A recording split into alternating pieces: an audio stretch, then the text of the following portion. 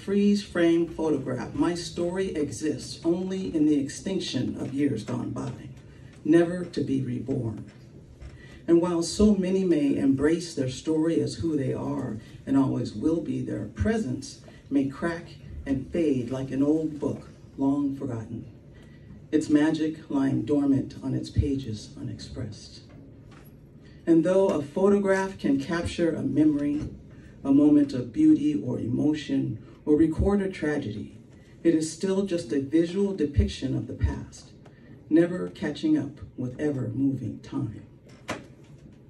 See, it can't capture the smell of a rose, or hear a baby's laughter, or feel a loving caress. And as a photograph must be viewed to express, a book must be read, its story must be spoken to be known, and to be known by your story, you must recount it over and over, polishing the dusty pages of a past faded by time. But my desire is to live present tense, to express and experience love, to soothe away a baby's cry, to see the laughter in my beloved's eyes, to drink in the beauty of humanity's blue, green, brown, and hazel eyes. To marvel at our rainbow shades of skin and the divine beauty that's held within. To share abundance with gratitude when helping a stranger. To be an instrument of peace by choosing love over anger. To cleanse my soul through the release of my tears and to live inside each note of a symphony, dancing joyfully with every molecule of my being. To speak future tense into being by the authority of my birthright. Because only in this present tense of now can I meet you soul to soul and with the God in me, see the God in you. So as I stand here, naked to my soul, minus the tattered, layered clothing of past tense, I say to you, one day you may come to know me, but it won't be by the telling of my story. Thank you.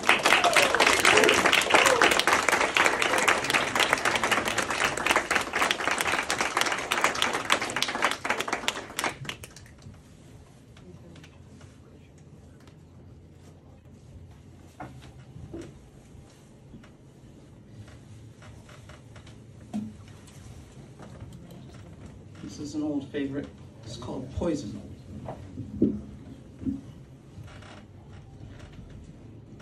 What is poison? You may say it's simply this that which causes the body to experience a severe adverse response to a chemical or substance which God never intended to be introduced to its creation. For that which consumes life should never be blended with it what is poison. It's simple, you say, just read the bottle. Keep out of the reach of children.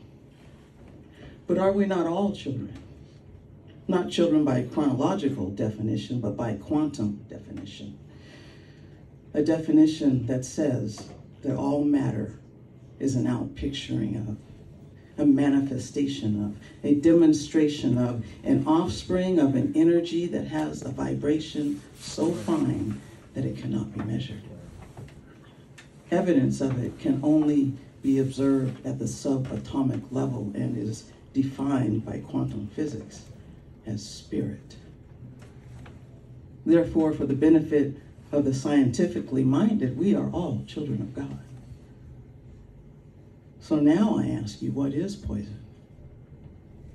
From arsenic to acetone, ammonia to avarice, from drain cleaner to detestation, foxglove to fear, freon to fury, mercury to murder, nicotine to invalidation, scorpions and stinging nettle to separation and segregation, from venom to viciousness, wonderberry to war, Poison is that which causes the human organism to experience an adverse response to a substance, thought, or energy which consumes life.